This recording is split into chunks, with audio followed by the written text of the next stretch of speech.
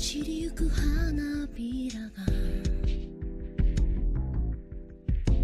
街を彩るけど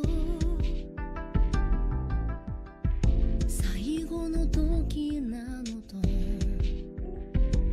風が教えてくれた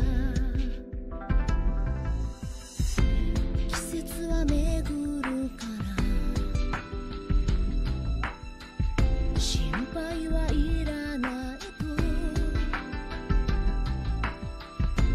あの時横切った。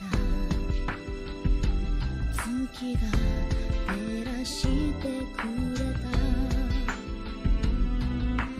いつも同じ涙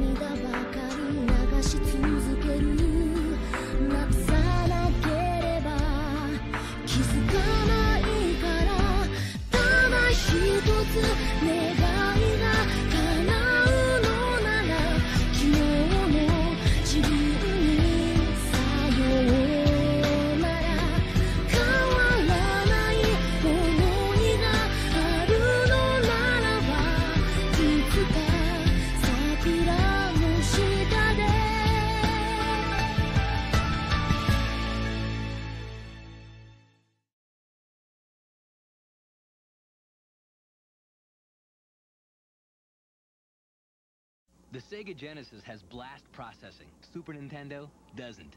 So what's blast processing do?